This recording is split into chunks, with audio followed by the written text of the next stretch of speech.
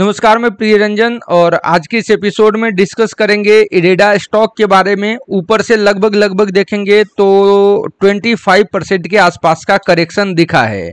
तो क्या ये मुहूर्त ट्रेडिंग पे जिन्होंने लिया, वो अच्छा करा या ये नहीं करना चाहिए था? यहाँ देखेंगे कि इरेडा 2025 का टारगेट 33 परसेंट डाउन है। क्या ये टॉप मुहूर्त पिक हो सकता है क्या? इसको लेकर के एडिटोरियल आते हुए दिखा है। मार्केट एक्सपर्ट ओसो कृष्णन जी कह रहे हैं कि रिकमेंडेड और बाई एकुमुलेट कहा है? 195 200 का मेजर सपोर्ट माना है 260 के टारगेट दिए हैं। लेकिन मैं कहूँगा कि भाई थोड़ा रुको थोड़ा रुको।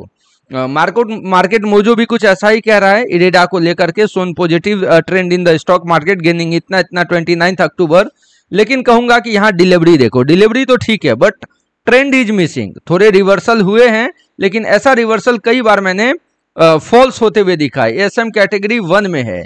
और टेक्निकली मैंने पीछे कल के वीडियो में भी कहा, क्या कहा? भाई मूरा ट्रेडिंग में बहुत लोग बहुत शेयर स्टॉक सजेस्ट कर रहे हैं। लेकिन याद रख लो, जब तक 222 का ब्रेकआउट नहीं होना 244 या 274 244 जैसे लेवल्स नहीं एक्सपेक्ट करेंगे लोअर लो लोअर हाई में है।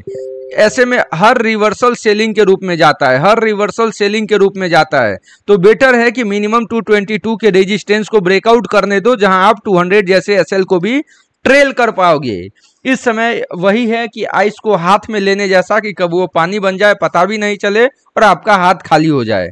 तो थोड़ा कंफर्मेशन करेंगे एक बार ब्रेकआउट का।